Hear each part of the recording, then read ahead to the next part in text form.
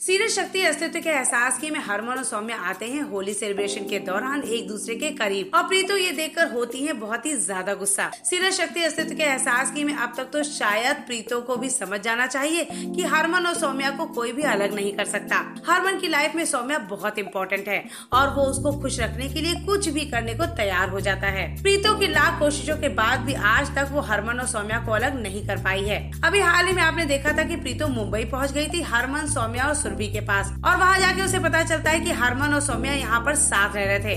और एक्चुअली वो हनीमून हरमन और सौम्या का था, न कि हरमन और सुरभि का। प्रीतो ने मुंबई में भी बहुत बड़ा ड्रामा क्रिएट किया था और अब वो लोग आ गए हैं वापस घर। और घर आने के बाद हरमन का फेवरेट त्योहार होली आ गया है। और वो इसको और भी स्पेशल बनाना चाहता है क्योंकि इस साल उसके साथ सौम्या भी है।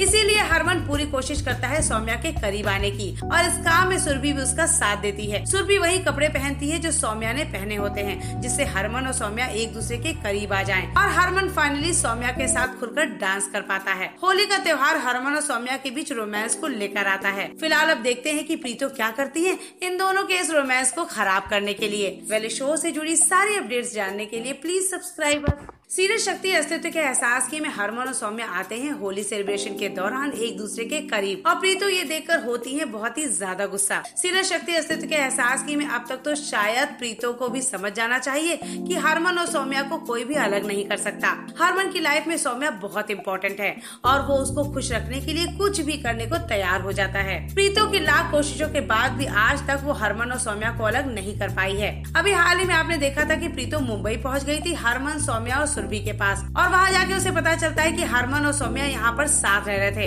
और एक्चुअली वो हनीमून हरमन और सौम्या का था, न कि हरमन और सुरभि का। प्रीतो ने मुंबई में भी बहुत बड़ा ड्रामा क्रिएट किया था और अब वो लोग आ गए हैं वापस घर। और घर आने के बाद हरमन का फेवरेट त्योहार होली आ गया है। और वो इसको और भी स्पेशल बनाना चाहता है क्योंकि इस साल उसके साथ सौम्या भी है।